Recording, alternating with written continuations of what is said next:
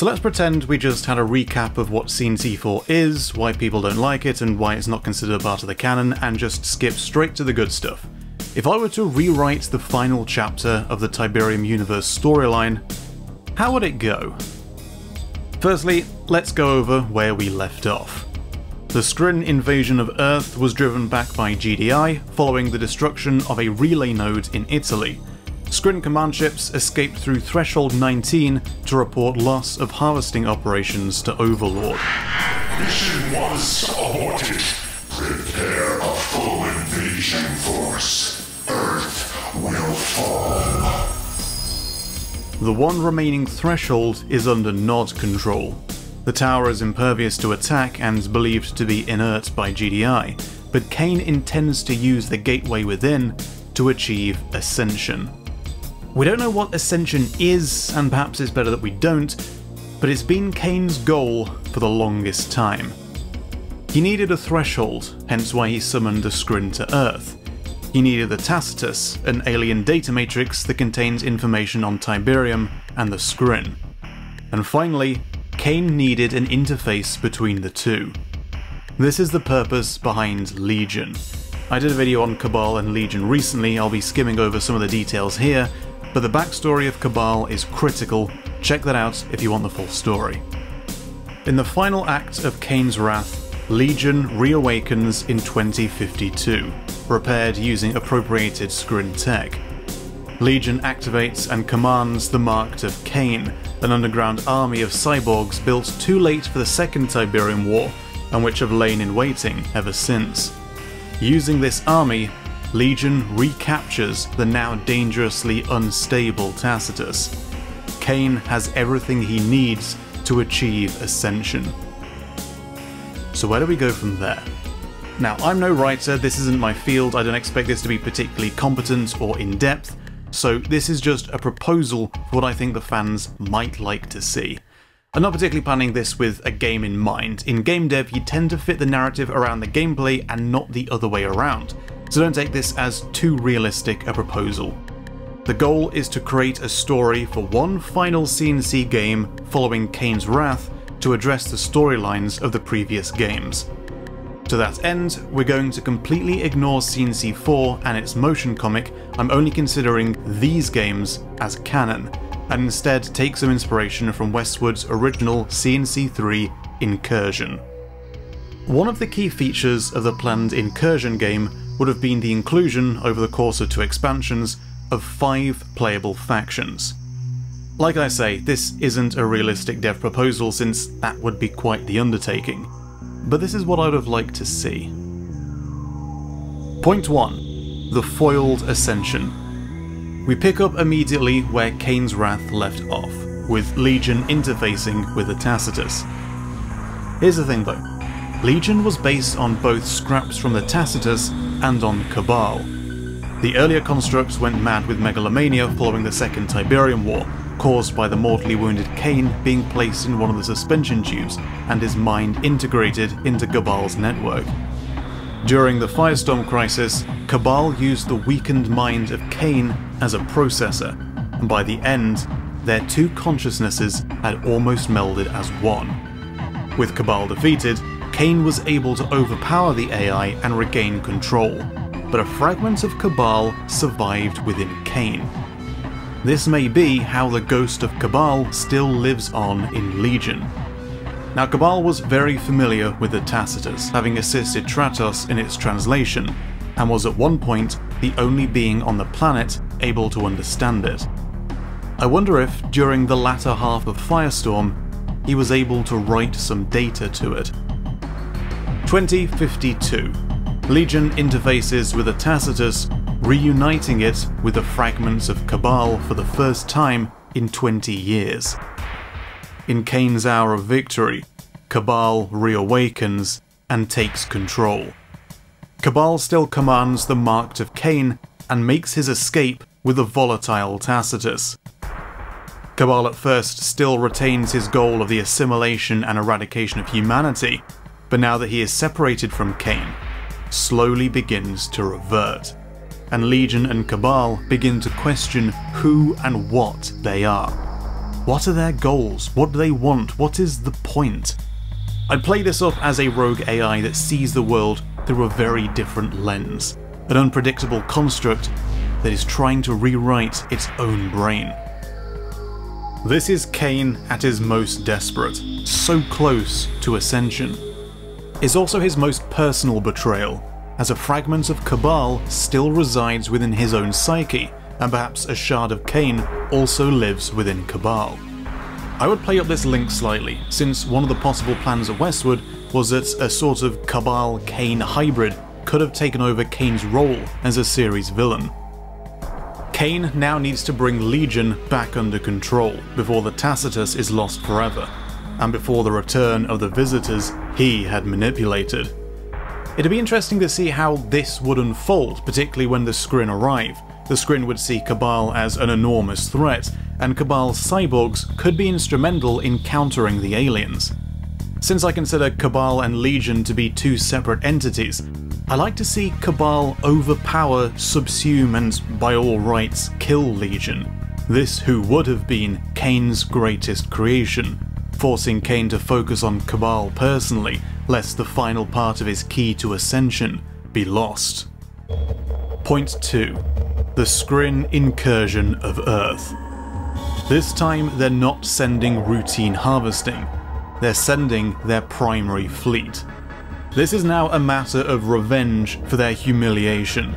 Overlord orders the eradication of GDI and the capture of the anomaly logged during the first invasion. Necessary blast yield. This being already exists in the data core. Genetic derivations unknown. Rather than deploying a surface relay node to supply Scrin forces with Tiberium radiation, the relay node will instead be housed on Overlord's command ship, kept in the Earth's orbit to provide for all surface forces, and so would require either the ion cannon or perhaps a Nod nuke to destroy, depending on how we play the final act. Since Threshold construction received such strong resistance last time, with 18 of the 19 towers being destroyed, Tiberium collection will be limited to regular surface harvesting, with all Tiberium sent direct to the relay node to fuel the Scrin Armada. Exact revenge on GDI. Acquire and study the anomaly to learn how the planet was so well prepared last time. Then mine the planet for all it is worth. Point 3. The Return of the Forgotten. The Tiberium tribes of Earth have now been in self-imposed exile in red zones for 15 years. They don't trust humans. Nod experimented on mutants, and GDI failed to protect Umagon and Tratos. However, the Earth is their planet too. I doubt the Forgotten sat idly by during the first invasion, even though we never saw them, and they're going to have prepared for the second wave. Between Tratos' visions and the strange abilities of Mortimer, Westwood was setting up the Forgotten as slowly developing some form of psionic prowess, which was to be key in fighting the Scrin in the cancelled CNC 3. We're doing that. The Forgotten and GDI form a loose alliance as a Scrin arrive, with the Forgotten better able to fend off Scrin attacks due to their Tiberium-based physiology. The Scrin thrive in Tiberium zones, but those zones belong to the Forgotten. However, GDI actions over the past two decades of reclaiming these Tiberium zones that the Forgotten require to live is a major point of consternation between the two factions.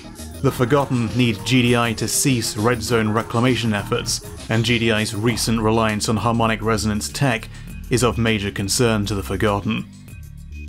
So this gives us the five factions as originally planned for Westwood CNC3 incursion. GDI will be an amalgam of their past tech. With the upcoming threat of a second invasion, they'll have invested more funds into their strongest weaponry rather than the more lax GDI of Tib Wars. We're talking the return of Titans, the resurrection of the sonic disruptors due to their efficacy against the Scrin, and all the good stuff GDI is known for, mixing wheeled and tracked vehicles with their walker tech. We'll keep the cheaper Mammoth Mark III as the heavy tank with the classic twin cannons and Tusk missiles, but we're ditching the Marv in favour of the original Mammoth Mark II. Not an upgraded Mark II, the original. It's GDI's ultimate unit, and they've got to have a few sitting around somewhere. The Zone Trooper Heavy Infantry makes sense to keep, though maybe mix their design a little with the Wolverines or Exo Power Suit to make them a little less StarCrafty. Either that or stick with the better designed Zone Raiders.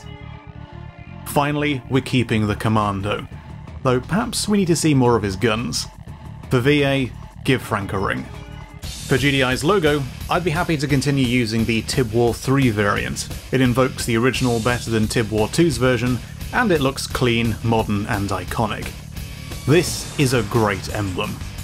And while I won't be bringing up cast much, I reckon that for this final entry, GDI's Science Division needs to be headed by Sydney Mobius. We started with a Mobius, let's bring it full circle, and inside out. Nod will likewise be a collection of their greatest hits from all three wars, directed by Kane himself from perhaps Cairo. With the destruction of Temple Prime, Nod always seems to end up back in Cairo, a location that, according to Renegade, it's where the Brotherhood started. With Nod's diminished state and the defection of Legion, Nod has lost their Tibsun era cyborgs, the Marks of Kane, and their walkers like the Avatar, and instead will rely on their classic tools hit and run buggies and bikes, light tanks like the Scorpion or maybe even their old Renegade design, flame tanks, and stealth tanks. Perhaps also the mobile stealth generator, though I might skip the subterranean vehicles since they're not so fun to play against. We'll keep the Venom aircraft from the Third War since Nod kind of needs a rotorless helicopter. That, that bug kind of got quite iconic, didn't it? And bring back the Scrin inspired Banshee, since by this point Nod would have more alien tech to reverse engineer. While Nod still uses ballistics and explosives like GDI, they also implement their own laser turrets alongside chemical and flame weapons. Nod's light infantry should also have that sharp Tibsun era design, and we need to have the Chem Warriors as Nod's elite infantry, perhaps even filling the role of Nod's commando, though allowing multiple Chem Warriors to be trained at a time. For Nod's emblem, I'd revert back to the original design with the straight edges. The Tib War 3 logo was pretty cool with the weird spikes, but the older version is more iconic and has more gravitas with its simplicity. Actually, I'm not a fan of this render anymore, let's freshen it up. There we go. The Scrin forces are under the control of Overlord, and this time it's the full armada. I actually don't have any complaints with the style of unit seen in Tib Wars, so more of the same really. Though could be cool to see some of the concept art from the Tiberium FPS join the roster. Would be really cool though to see them using ships in the style of the one Nod built before Tib's Tibsun. One major thing though is the units need their own voice lines rather than just making noises. Uh, Cabal's faction will be a mix of Nod's Firestorm era designs, their walker tech, and the Marks of Kane from Kane's Wrath, commanded by the awakened Cabal within Legion, current holder of the Tacitus. Most of the structures should be classic Tib War 2 designs, with the Cabal Obelisk and Obelisk of Darkness as base defences. The infantry will be composed entirely of cyborgs, with the Awakened and Enlightened having a more steampunk and less toyish design, and the classic Cyborg Commando as the elite infantry. Vehicles will be a mix of walkers, like the Cyborg Reaper and Avatar Warmech, with various remote control vehicles and drones, including the mobile repair vehicle and maybe even something like the Harkonnen Buzzsaw, though these will be kept to a minimum. Cabal is about cyborgs, mechanized biological organisms, brains hooked up to mainframes, not robots. The Redeemer will be taken from Nod, but we won't see it in its present form. Instead, it'll play a role similar to the Allied Battle Fortress. Garrison the Redeemer with infantry of any faction to sacrifice it and add its weaponry to the Redeemer's arsenal, up to four permanent slots. The reason we're downgrading it a little to the role of a heavy assault vehicle is because of Cabal's true epic unit, the return of the Core Defender. Generally for weaponry, we'd see ballistics, Cabal's blue lasers, pulse guns and railguns, perhaps also the Volt Gun from Renegade, and other electric discharge weapons, though keeping them distinct from Tesla tech. There are a few pieces of concept art for Incursion, they're intentionally rather out there in terms of design, but I'd mention in particular the Cabal Swarmling, which has an interestingly vicious design, and uh, the Robo T Rex. Maybe it's a bit silly, but it's worth raising the callback to Fun Park. Cabal has never had a faction emblem. We could just reuse the Marks of Kane logo, but while it's characterful, I don't think that represents Cabal particularly well. There is this icon from the cancelled CNC3 incursion, but while it gets attributed to Cabal, I don't think it actually is. The icon comes from this concept art, which by the way is the inspiration for my EVA UI in the lore vids.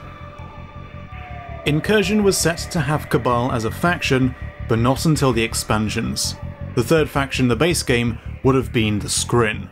Now compare this icon, which is reminiscent of a Roman-esque helmet, to the concept art of the Scrin from the same game. I reckon this icon had nothing to do with Cabal, and is in fact an early Scrin emblem instead. So what should we use? It needs to be something that relates to Cabal in some way, and just using his face is a bit naff. So after discussing this with Alex06, here's our proposal. In Firestorm, we briefly see this animation of several triangular pyramids around a cube, representing Cabal's core, and then again when Cabal boots up. General Slavik. Plus, stylized like this, it forms an upside down triangle, showing Cabal's defection from Nod. This is Alex06's fantastic rendition of the design, and I think this works really rather well. Listen to the sounds of your own extinction. The Forgotten would be a really cool mix of old and new. The mutants are nomads, they don't have the resources GDI and Nod have, and so they scavenge a lot of their strongest tech from old battlefields claimed by Tiberium. We're talking the classic Mammoth Mark I. We're talking rotor helicopters rather than VTOL jets, and the MLRS either from Tib War 1 or 2. And while I don't think we should lean too hard into the link, how about phase transport? Or something evoking the mobile gap gen? Something to keep the mutants hidden on the move. The Forgotten's vehicles will be mostly older tech, but they're not scrap dealers. They are a scientific minded people and they've been preparing for this war for a long time. We're not taking the route of scrap buses and tractors as seen in Alliances. It's their infantry that sets them apart, with a mix of mutant soldiers and the more hulking mutant marauders wielding heavy weapons, and Tib-based weapons such as the Tiberium auto rifle and the flechette gun. The mutant hijacker returns, ideally with the funky music as he speaks. Power! Borrowing from the CNC3 mod The Forgotten, I love the idea of mutants who tame Tiberium lifeforms. Rather than commanding fiends or floaters directly, you instead command the tamer, and if the tamer is killed, the fiends are still friendly but cannot be commanded. Perhaps we could see a few other new Tiberium based fauna assisting the Forgotten. Might I also suggest the Picodons from Lands of Lore 3? You could have Tiberium flora for base defences, really big up the alien concept art from Tib Sun by growing structures that emit Tiberium gases or liquids, fire shards or otherwise attack. The CNC3 mods also had the really neat idea of a veinhole monster superweapon. It would be cool also to have a support infantry with Mortimer style psionic powers, perhaps to summon ion storms like Scrintech, or maybe even summon Visceroids so this faction's artillery units would be infantry rather than a vehicle. Plus, since they're Tiberium based, the Forgotten could also have infantry for harvesting, a little like Yuri's slave miner, since they wouldn't need the shielding of harvesters. And of course, the Commando is the Ghost Stalker, with the extremely powerful railgun. The Forgotten already have a faction logo, though that comes from the Tiberium Alliance's spin off. It's based on the Tiberium Hazard emblem from Tib Wars, but the hexagons are smaller and the lines in between are more bold. I much prefer the version we see in Tib Wars. I'd either use the Tiberium sign with these proportions, or perhaps the edited version from the Tiberium FPS key art, though this one only really works in 3D and is less versatile. I did find this variant by a fan though, so this is what it could look like. So, these are our five factions. The GDI and Nod campaigns would take place in the same continuity, same as in Firestorm and Tib Wars. By the end of the campaigns, the Scrin will be driven back, their fleet destroyed, and Overlord killed by the destruction of the orbital relay node, probably with the ion cannon, though the use of other super weapons will be required to open up the opportunity. Or maybe present the option of different endings depending on which you use. Would be cool if in the final mission, GDI needs to either capture a Temple of Nod or Kane has to acquiesce to assist in order to stop the Scrin from preventing his ascension. GDI and Nod actually working together against their common foe. Nod and Cabal will be forced into the war as well, as GDI and the Scrin learn of Cabal's possession of the Tacitus. Both the Forgotten and Cabal's forces would be key in fending off the Scrin, as they would be expecting the carbon-based human forces relied upon during the first wave, and having learned from how both GDI and Nod fought. Over the course of the Nod campaign, Kane would bring Cabal back under his control but only once the Scrin are destroyed would he be able to activate the threshold and finally ascend.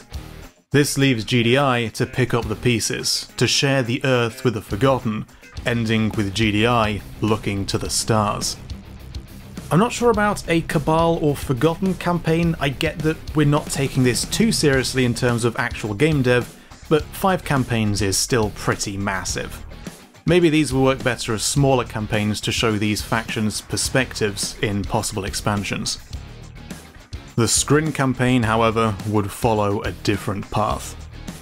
In the same vein as the Nod campaigns from Tib Dawn and Tib Sun, this story instead follows the incursion where the Scrin win. The destruction of GDI, the forced integration of the Forgotten into the Scrin, think the Unggoy from Halo, the dismantling of Cabal, and the capture of Kane, whisked away to the Ichor hub for vivisection. This would be the timeline of absolute Scrin victory and the fall of Earth. Though, wouldn't it be cool if we had a twist, a bit like the Firestorm Nod ending? The final cutscene, our planet is mined hollow, Overlord congratulates the player on their work, and mankind has fallen. But then, Overlord's screen goes dark. Warning messages roll on the display, the lights in the Scrin forces go out, they start falling towards the planet. And then.